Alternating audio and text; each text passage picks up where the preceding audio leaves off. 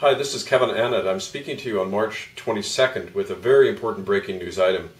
I'm on my way to Europe. I'm in transit at the moment, but this information is so startling and so important for the work of humanity and the International Common Law Court of Justice that it needs to be shared today.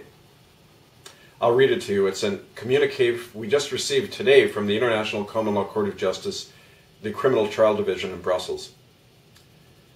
The Pope and Jesuits refused to deny criminal charges made against them. Trial to proceed, as shocking new evidence suggests, Joseph Ratzinger still wields power at the Vatican. Ratzinger and others are named as members of a child abuse cult. And this is today from Brussels and Rome.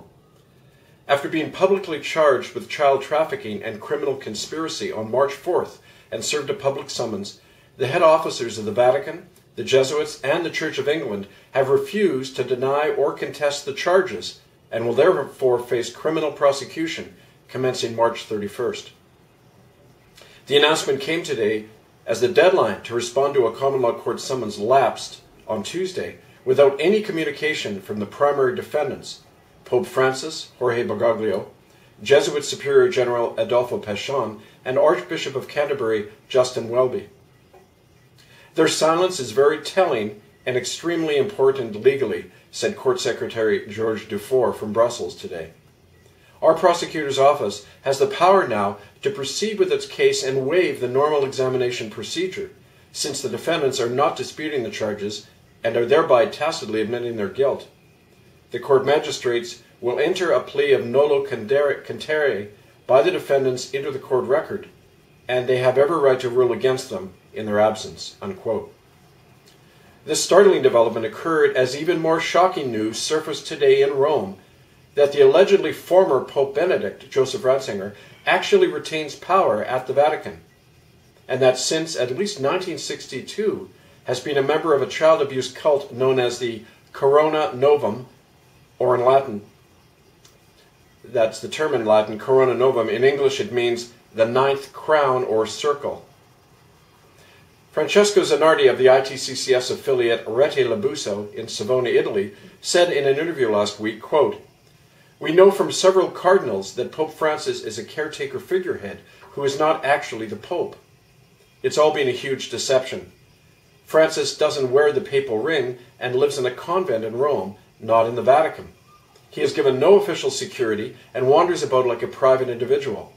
And he makes policy statements which the Curia of Cardinals then disavow. St. Francis doesn't reflect church doctrine. And all the top appointments have been Germans or those connected to Ratzinger, who continues to speak to reporters like he's still the Pope. Unquote.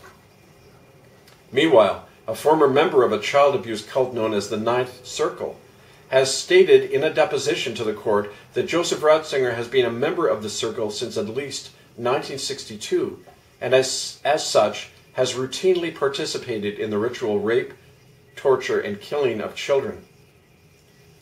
Quote, the witness claims to have seen both former Pope John Paul II, Karol Wojtyła, and Pope Benedict Joseph Ratzinger participate at Ninth Circle rituals held at Catholic cathedrals and in a forest grove in France, said George Dufour of the Common Law Court. This recent statement confirms the account of such a ritual involving Joseph Ratzinger made by Dutch eyewitness Toos Neijenhuis last year which you can see at itccs.org on May 8, 2013. The court has also received evidence that the Ninth Circle cult is referred to in Vatican documents which describe how the participation of every new pope in the Ninth Circle cult is mandatory for their assumption of office. The alleged documents refer to the cultic rituals as, quote, the magisterial privilege that involves the ceremonial killing of newborn children and the consumption of their blood at circle, circle rituals. Now, this startling information is all being documented, and the alleged document itself is translated from Latin and is dated December 25, 1967. All of this new evidence has been entered into the case records of the Citizens Prosecutor's Office of the Common Law Court in Brussels. Please stay tuned for more announcements from Brussels this week, where I will be in attendance with members of the court and stay tuned at itccs.org. This is Kevin Annett. I thank you.